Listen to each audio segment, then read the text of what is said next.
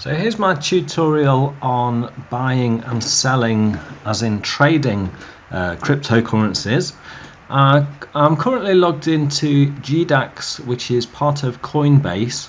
Um, do click the link in my uh, video description and you will be able to sign up for this and you will also get a credit of either £7 in the UK, uh, I think it's 7 euros in Europe or $10 in the US as a bonus. So here you can trade different um, currencies between cryptocurrency and fiat currencies uh, such as euros and I'm currently on the pair of uh, Ethereum and euros which is just going up and up.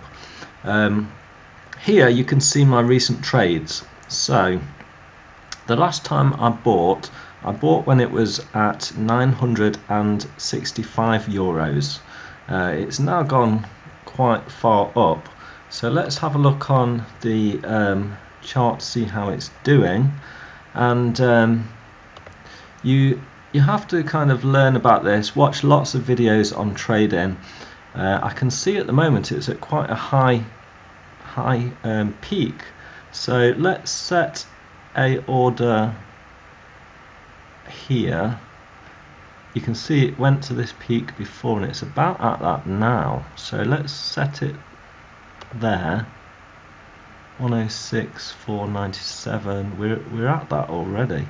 Um, so really yeah it would be a good opportunity to sell some here. Let's sell. I've currently got as you can see 0.05 so let's do 0.025 place that sell order.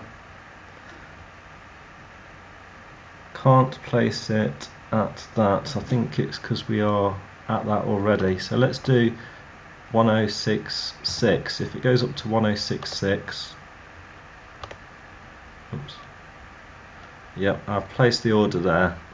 And you must use this limit order because if you use market or stop orders there's fees involved. But if you use limit orders there's no fee so you will make the most amount of profit that you can. So the theory behind this is that you buy when it's low and you sell when it's high. So as you can see here in my history of orders that have been filled, I last bought when it was at 965. I did sell some when it was at 1036. We're currently at 1065. Is it going to go up to 1066? If it does, then I should sell. It's actually gone down slightly at the moment. Um, let me explain this part as well. Now, let me explain both windows just while we are waiting for this trade to happen. Uh, first of all, on this one at the top, you can choose either a candlestick chart or a line chart. The line simply shows the price that it's that it's been at um, and you can see that it sometimes goes down, it goes up, um, goes down like that, up again.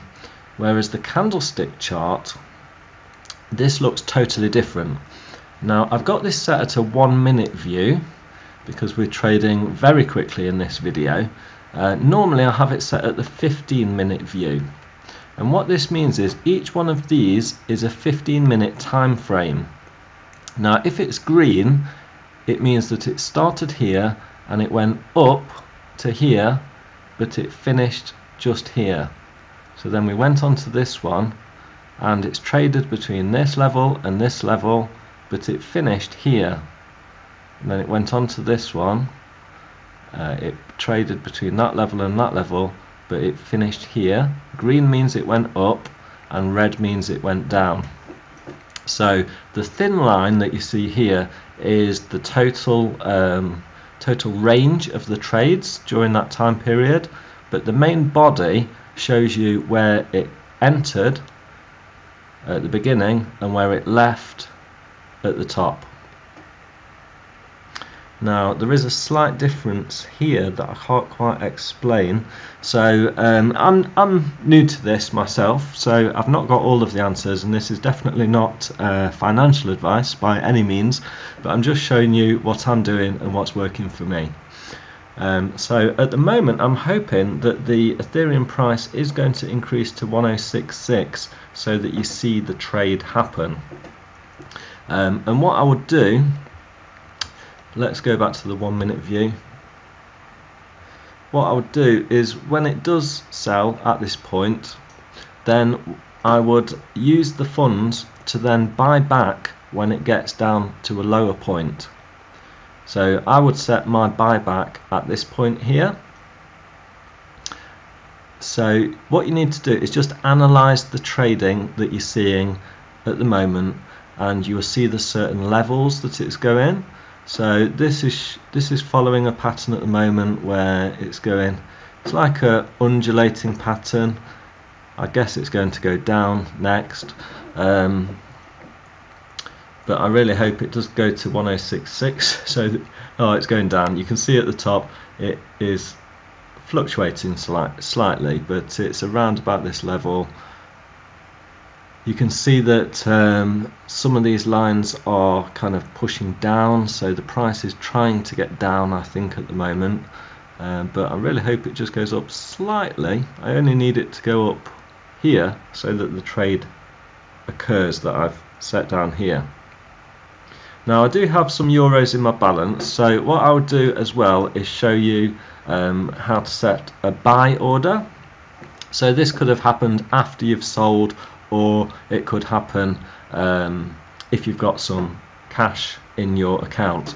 Now one tip I can give you that is very useful is when you load up your Coinbase account rather than just buying on Coinbase log into GDAX at gdax.com follow the link in the uh, video description and um, you will get a bonus I'll also get a bonus it doesn't cost you anything extra but you do get extra um, you do get extra funds so please do go through my link um, and um, then what you can do is load up your account with some fiat currency um, and then you can go on to GDAX. Let's say I've just loaded up my account with this 51 euros 80.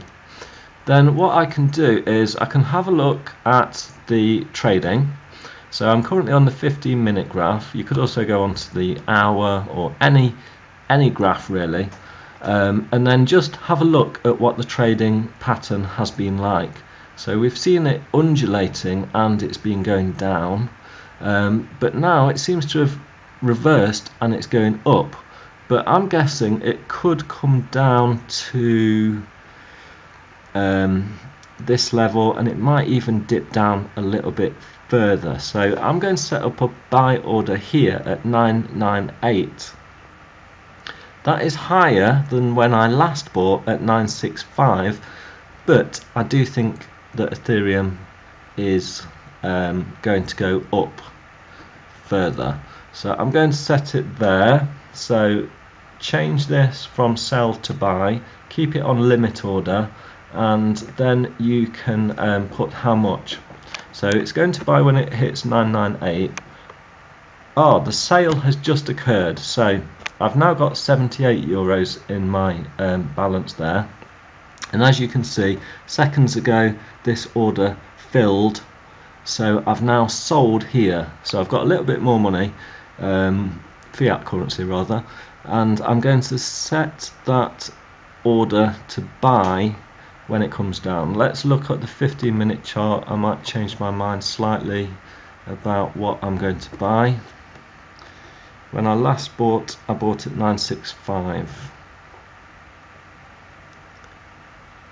Now I'm guessing it's going to come down again lower. It's going to come down definitely to there.